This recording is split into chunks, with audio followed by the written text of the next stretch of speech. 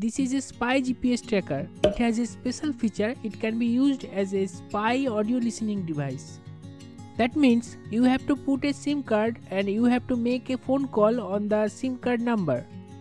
It will automatically receive the call and you can hear all sounds from the surroundings. It has a microphone. I made the same thing using an Arduino. You can make it easily at home. Now I am going to show you how it works. It has a better battery backup than the Spy GPS tracker. You can charge it using any smartphone charger. I have to push this switch to turn on the device.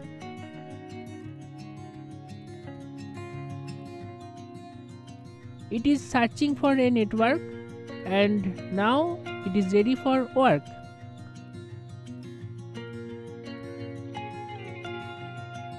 Now I am going to make a normal phone call on this Pi device.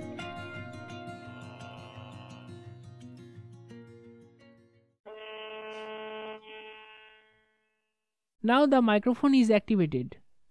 I can hear sound from the device from anywhere. It can be used for long distance also. Hello. Almost anywhere Hello. in the world. Hello. One, two, three, four, five. If I make a call to the device number, it will automatically receive the call silently. It does not make any ringing sound.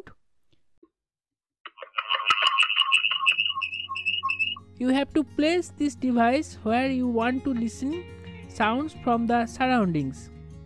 Just make a call from anywhere and you can listen and record the sounds. This is working with a 2G SIM card.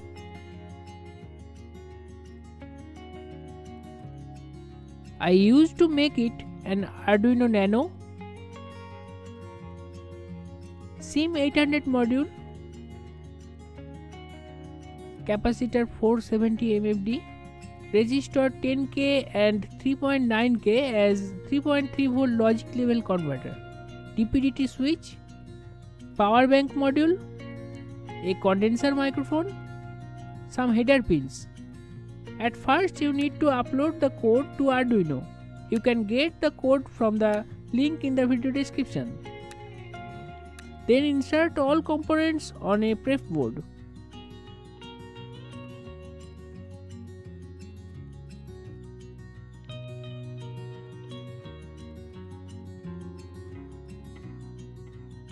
Now connect all components. Here is the circuit diagram. For testing you can also use a breadboard. The SIM800 module is working with a battery power 3.7 volt and Arduino working with 5 volt after boost up with a power bank module. The microphone is connected to the SIM800 module. Thanks for watching. See you soon in the next video.